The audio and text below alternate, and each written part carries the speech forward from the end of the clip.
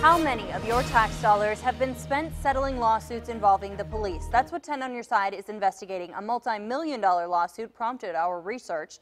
Seven years ago, 68-year-old David Warren died inside his home on Portsmouth's Weaver Circle. Police said Warren barricaded himself inside and threatened officers. Since then, his sister filed a $55 million lawsuit against the police department, claiming they were negligent in the death of her mentally ill brother. The case is still moving through the courts, and your tax dollars could pay for it. A William and Mary law professor says winning a case against any police department is difficult.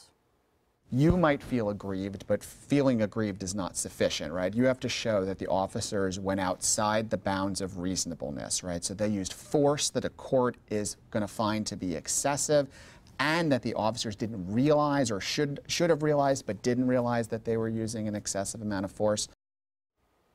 No matter how difficult it is to win, that's not stopping people from filing lawsuits. Tonight, we'll show you the number of suits that have already been settled and break down how many of your tax dollars have been spent. Our investigation, Legal Liability Adding Up the Cost, airs tonight on Wavy News 10 at 6 with coverage beginning at 4.